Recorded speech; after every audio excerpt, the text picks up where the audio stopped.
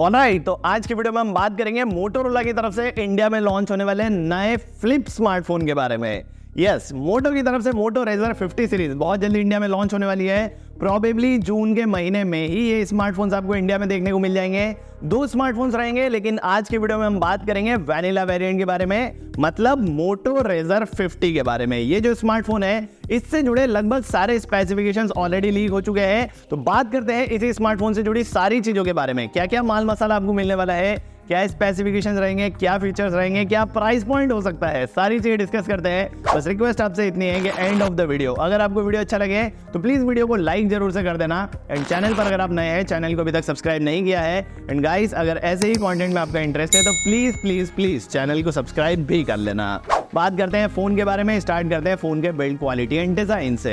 Build quality अच्छी यहाँ पर आपको मिलेगी, प्लास्टिक कंस्ट्रक्शन यहाँ पर आपको मिलेगा, लेकिन एल्यूमिनियम का फ्रेम यहाँ पर रहेगा, एंड जो हिंज है वहाँ पर आपको स्टेनलेस स्टील का कंस्ट्रक्शन देखने को मिलेगा। तो बिल्ड क्वालिटी आपको अच्छी मिलने वाली है, कॉर्निंग गोरिल्ला ग्लास विक्टस का प्रोटेक्शन आपको देखने को मिलेगा। तो बिल्ड क्वालिटी में शिकायत आपको नहीं आएगी एंड डिज़ाइन की अगर बात करें तो गुड लुकिंग स्मार्टफ़ोन है भाई, दिखने में फ़ोन अच्छा है। फ्रंट में आपको पिछली बार के कंपैरिजन में इस बार बड़ा डिस्प्ले देखने को मिलेगा। डुअल कैमरा तो आपको मिल ही रहा है। तो overall build quality and design के मामले में बढ़िया फ़ोन रहने वाला है। बात करेंगे डिस्प्ले के बारे में तो कवर डिस्प्ले जैसा मैंने आपको बोला, इस बार बड़ा देखने को मिलने वाला है।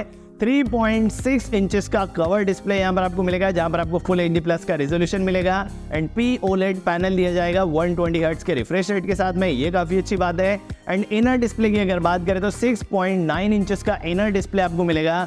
जहाँ पर भी आपको फुल एच प्लस का रेजोल्यूशन मिलेगा पी ओलेड पैनल यहाँ पर भी आपको मिलेगा एंड 120 ट्वेंटी का आपको रिफ्रेश रेट मिलेगा।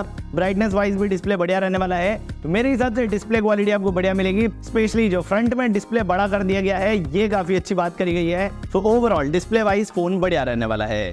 बात करेंगे परफॉर्मेंस के बारे में तो इस फ़ोन के अंदर आपको मिलेगा मीडियाटेक डायमेंसिटी 7300X प्रोसेसर ये जो प्रोसेसर है मीडियाटेक की तरफ़ से रिसेंटली लॉन्च किया गया है। डिसेंट परफॉर्मेंस आपको निकाल के देता है। इस प्रोसेसर के ऊपर एक डेडिकेटेड वीडियो मैंने ऑलरेडी बना करके रखा हुआ है। अगर आप देखना चाहते हैं, ऊपर आई बटन में लिंक दे रहा हूँ, जाकर के ज़रूर से चेकआउट करना। छोटी छोटी डिटेल्स हमने वहाँ पर कवर करी है कि इस प्रोसेसर के अंदर आपको एक्चुअल में क्या माल मसाला मिलता है। प्रोसेसर डिसेंट है ब्रीफ में अगर बात करें फोर नैनोमीटर पर बना हुआ है एनर्जी एफिशिएंट रहेगा हीटिंग का इशू कम देगा। 2.5 गीगाहर्ट्ज की पीक क्लॉक स्पीड पर चार ए सेवेंटी वाले आपको कोर्स मिलते हैं। तो डे टू डे की परफॉर्मेंस आपको अच्छी मिल जाती है मल्टीटास्किंग बढ़िया हो जाएगी। गेमिंग भी आप डिसेंटली कर पाएँगे। साथ ही साथ L P D D R five RAM यहाँ पर आपको मिलेगा U F S three point one का स्टोरेज मिलेगा। Overall performance wise phone decent रहने वाला है। प्राइस सेगमेंट के हिसाब से बहुत अच्छी परफॉर्मेंस तो आपको नहीं मिलेगी, लेकिन डिसेंट परफॉर्मेंस रहने वाली है। बात करेंगे कैमरास के बारे में। दो कैमरास का सेटअप आपको बाहर की तरफ़ मिलता है, जहाँ पर 50 मेगापिक्सल्स का प्राइमरी कैमरा रहेगा। ओआईएस का सपोर्ट यहाँ पर आपको मिल जाएगा। एंड साथ ही में 13 मेगापिक्सल्स का यहाँ पर आपको अल्ट्रा वाइड एंगल लेंस मिलेगा। दो कैमरास पीछे की तरफ़ है।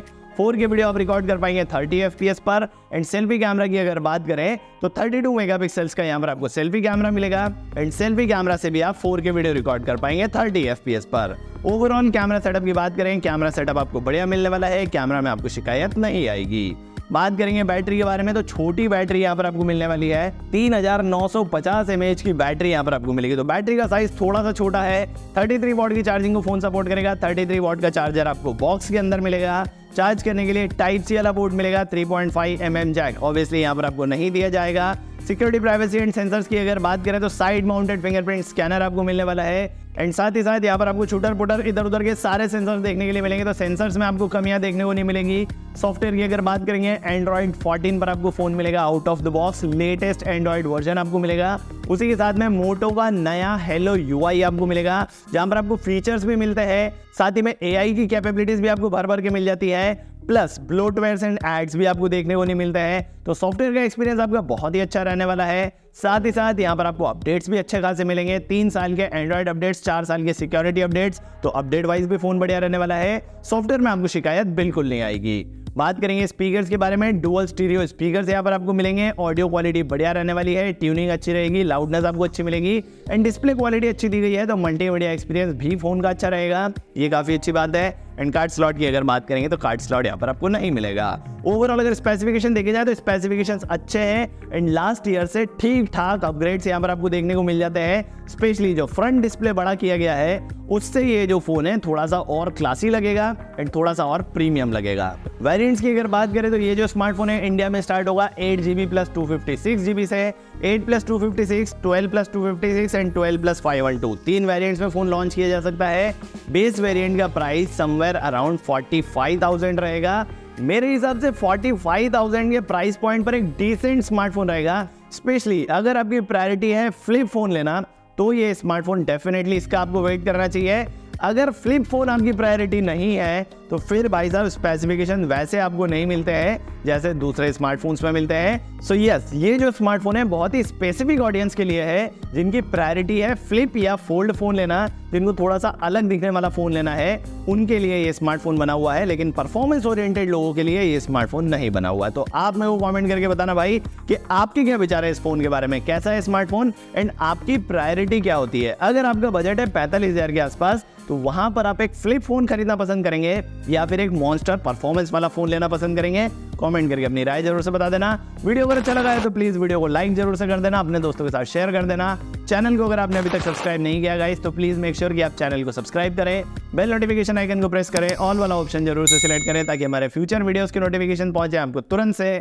This is Yash signing off bye